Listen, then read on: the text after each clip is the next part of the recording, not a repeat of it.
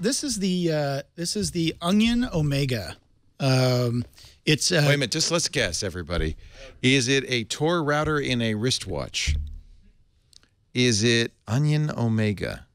Is it Onion? Onion. What's the Onion? Is that a, it's got to be a Tor something. no, it's not. Oh, It could be though. So there's there's potential there.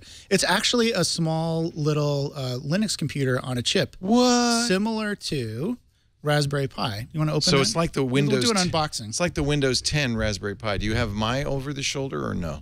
Yes, you do. It's like a because that's a big thing, by the way. Adafruit now is the Windows 10. Yeah, which I don't like at all. But um, I'm, Yeah, I'm glad I'm glad Linux? Adafruit did. Yeah, there's Linux no reason to do. Windows 10, but let's not get on that one. Yeah, Um, I like the puzzle piece. Yeah, isn't that cool? This is a very nice box. Um, this was a Kickstarter project, and what's cool about it is it uses do, uh, OpenWRT as the operating system. So, that's the, uh, router operating system. Yes, exactly. So it's very small. It's for embedded.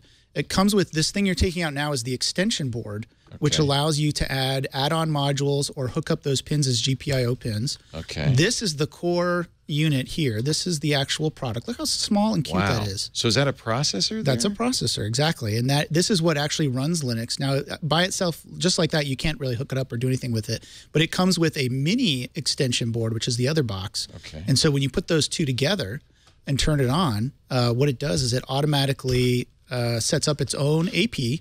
So you can connect to it. It has Wi-Fi built in, by the way. So There's the USB port. There's the USB. There's a There's Wi-Fi micro chip on there. USB for power. Yep. Yep. Where do I uh, dock it? So just line it up. Line oh, up I the see. shapes. It's got it's got pins on It's this side. It's got pins on that side. And it's- Just line it up. and Does it matter in. which way I go? It does. Yep. You got to match of up course the it shapes. does. Match up the shapes. Match up the shapes. Yeah, one of them has. You had Uh, it the other cut way. corner. Other way. Oh, there, it go. is. Yeah, yeah. It's like yeah. an SD card holder. Or I'd be. you know? I would not be good at this. Oh, sure you would. This is easy. Right. And do I have to push it harder, or is that? Yep. is Push that- it till it goes all the way in. Okay. It's a little little hard to put together there. Yeah. But the great thing about this is they're developing some really cool add-on modules for it. It's very small. It's really built for IoT. It's built for the Internet of Things. You could hide that inside of something and be monitoring sensors or uh, running some sort of little locate me program. There's all sorts of things you can do with it.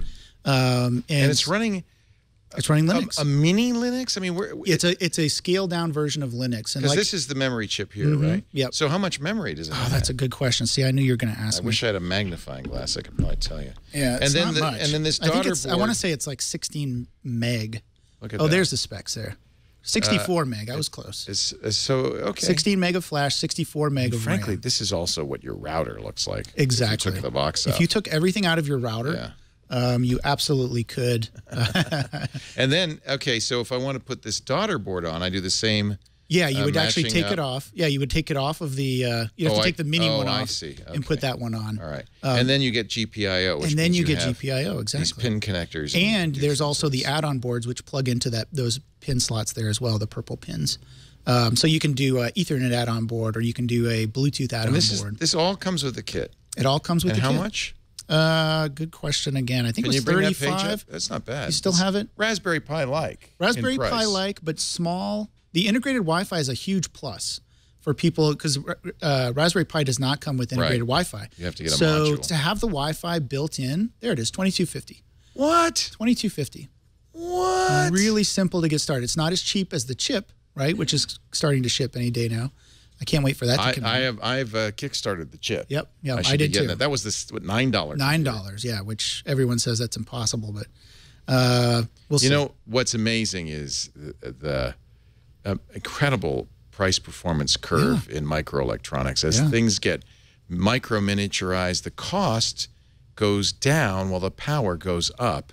It's just crazy. it is crazy. and it's it's what's powering our whole world, including this Internet of Things. The ability to take what is functionally a full computer, including wireless internet access, into something this size for 22 bucks. You could put this in anything, you know, uh, and make it uh, internet capable. Yep.